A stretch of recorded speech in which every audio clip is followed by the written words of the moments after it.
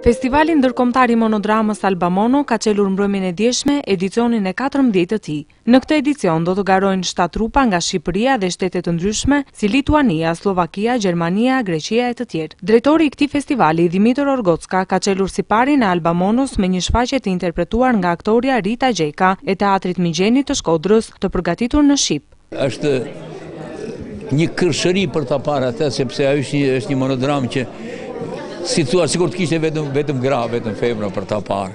Është tepër interesante kështu. Po ne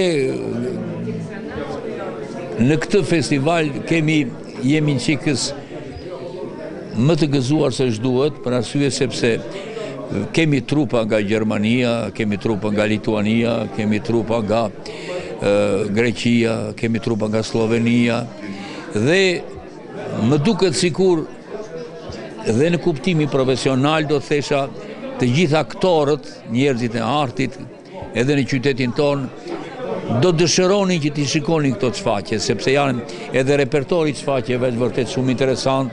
Ky festival do të zhvillohet në pesë netët e tij nën kujdesin e veçantë të kryetarit të Bashkisë së Maliqit, Gëzim Topçiu. Ju falenderoj.